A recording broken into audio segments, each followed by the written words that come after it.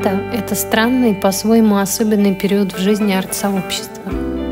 Дело в том, что почти все выставки, фестивали, биеннале на лето прекращаются, потому что все в отпусках, разъездах и заняты отдыхом. Галереи закрываются на месяц или два. Это пассивное время логично было бы использовать для активного творчества – начинать или заканчивать проекты, каждый день проводить в студии или за рабочим местом. Но не для меня. Не знаю почему избыток света, тепла, солнца и летнего настроения делает меня творчески пассивной, если не сказать блокирует вовсе. Я не могу рисовать, не могу сконцентрироваться. Короче, это период паузы для меня не только в выставках, но и в своей стандартной творческой рутине – и если вы, как и я, не можете продуктивно работать, и при этом испытываете чувство вины от того, что время пролетает зря, и вы страдаете, но не можете по этой причине в полной мере насладиться летом и его всем приятными моментами, то у меня один главный совет. Прекратите страдать по этому поводу и просто смиритесь. И это не значит, что лето вы потратили впустую. Просто перестаньте пытаться что-то делать серьезное или значимое для результата. Примите этот период таким, как и себя в нем.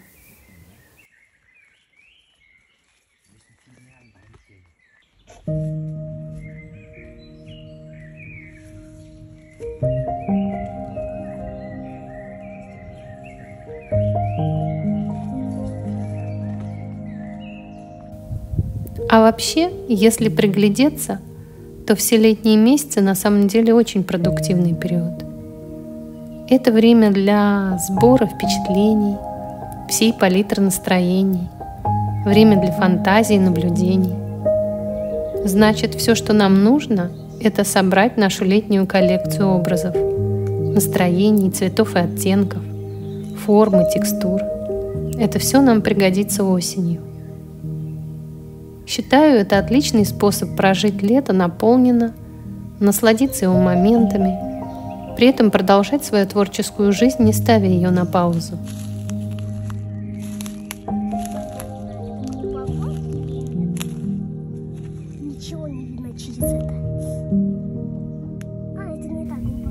И даже если вы не едете куда-то в отпуск, чтобы сменить обстановку, даже тогда – и особенно тогда, когда вы остаетесь дома. Адрес этого места Кукук 1А. Представьте, что вы живете на улице Кукук.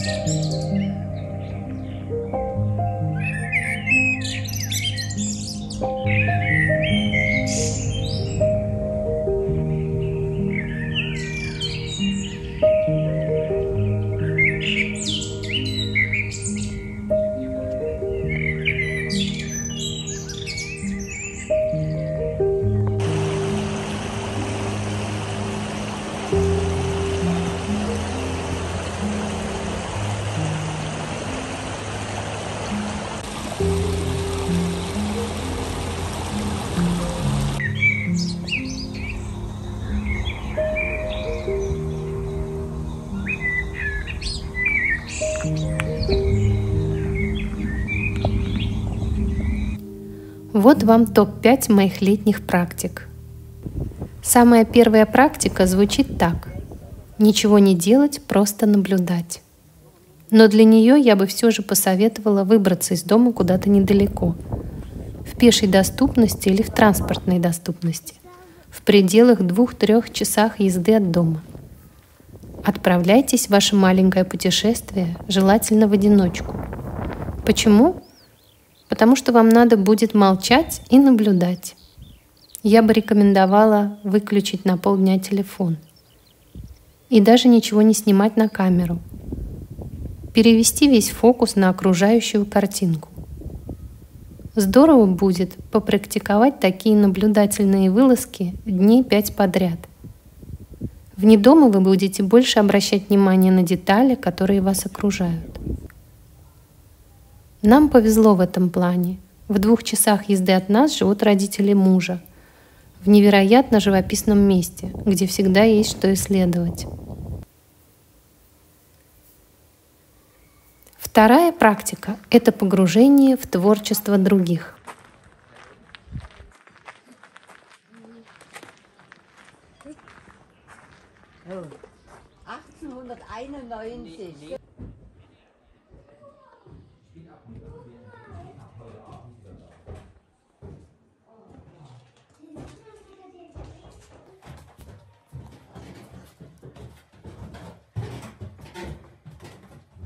Заранее выберите место, которое посетите.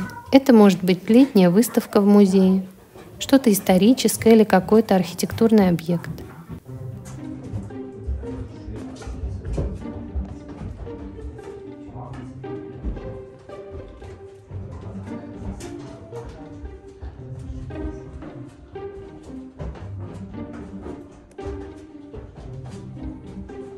очень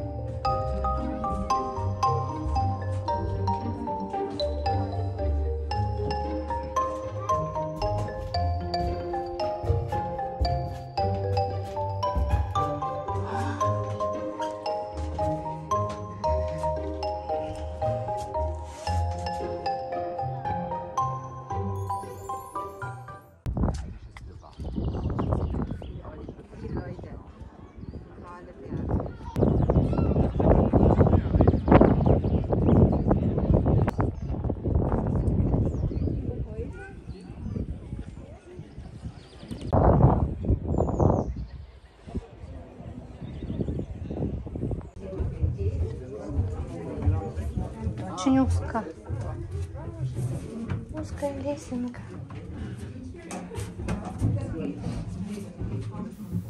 Проведите время, изучая все предметы и детали там.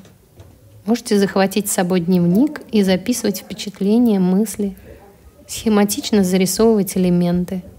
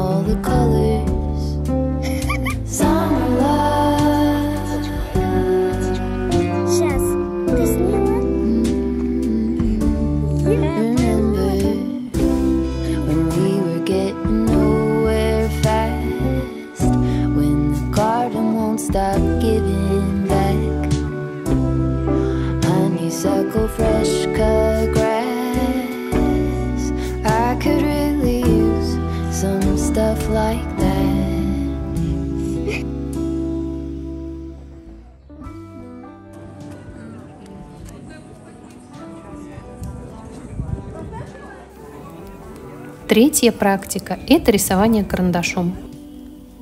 Для объекта рисования летом лучше всего выбрать что-то природное. Например, делать наброски с животных и растений. Проще всего цветы. Летом их много на дачах, в садах, парках и даже на балконе. Возьмите с собой одеяло или стульчик, карандаш и блокнот. Выберите цветок или клумбу и приступайте. Тут главное не стремиться к результату – чтобы вышло что-то красивое, профессиональное или похожее на натуру. Для начала выберите точку, с которой начнете, и просто наблюдайте, как от нее исходит линия у объекта. В каком направлении, геометричные они или плавные. Пусть рука сама ведет линии. Отключите мозг, уговорите его не контролировать процесс. Можно рисовать схематично. Сразу оговорюсь, что это вы можете делать вовсе не имея практики рисования. Цель не красивый рисунок, а медитативное действие, где вы объединяете линии природы с линиями на листе. Не оценивайте то, что рисуете. Будьте самой линией. Думайте как линия. Куда бы вам пойти на бумаге. Через какое-то время вы заметите, что голова ваша приятно опустела от навязчивых мыслей. Четвертую практику я подсмотрела у любимых японцев. Осибана. Это искусство флористики, мастерство создания изображений из высушенных под прессом природных материалов. Лепестков цветов, разных оттенков листьев, стеблей, трав –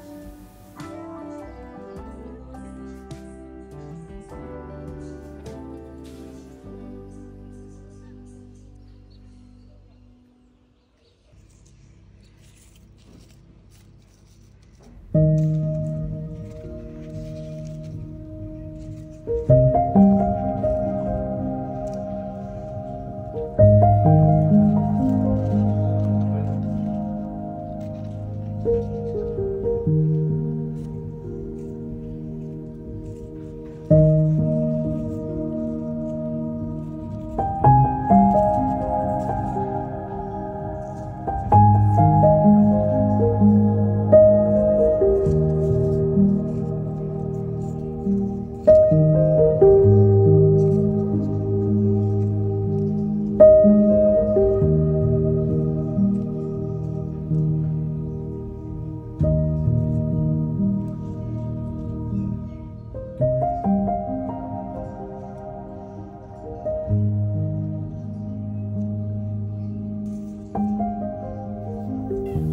Оно возникло в Японии примерно около 600 лет назад.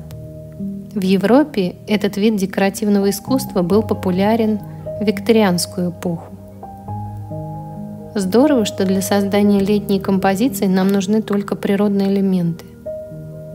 Но их также можно комбинировать и с красками, живописным фоном –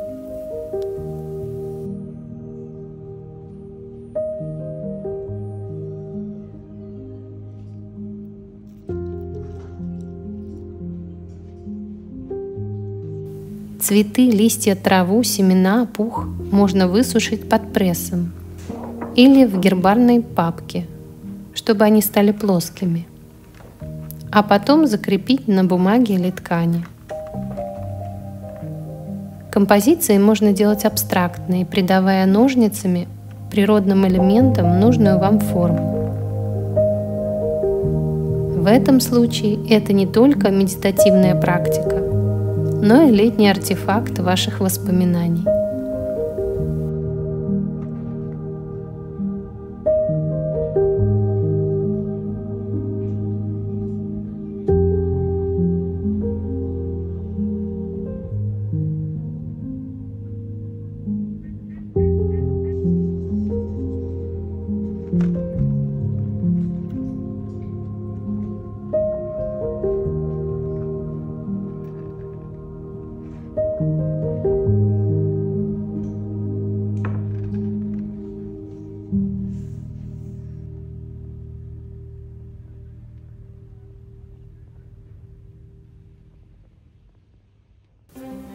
И пятая практика и самая летняя, конечно же, акварель. Для этого я решаюсь выйти на пленэр. И понимаю, что я не делала этого, вероятно, несколько десятков лет. А почему?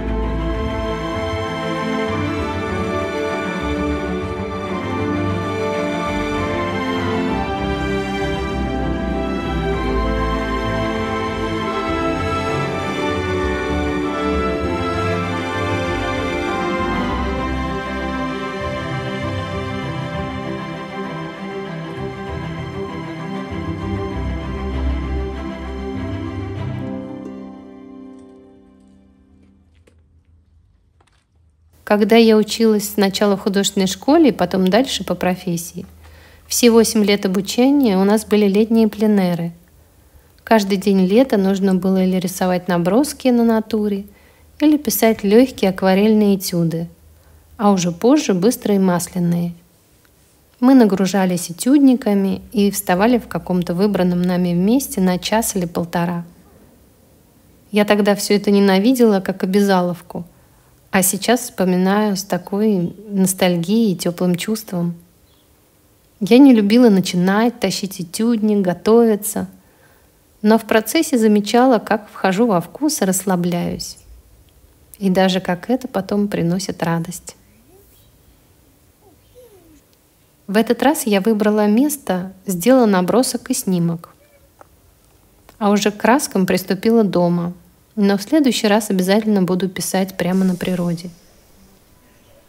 Опять же, совсем не обязательно учиться акварели, чтобы начать.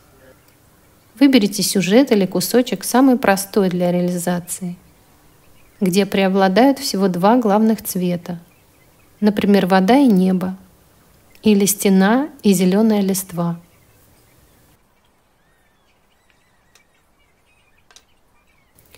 Потом понаблюдайте, сколько много оттенков в каждом из этих двух цветов.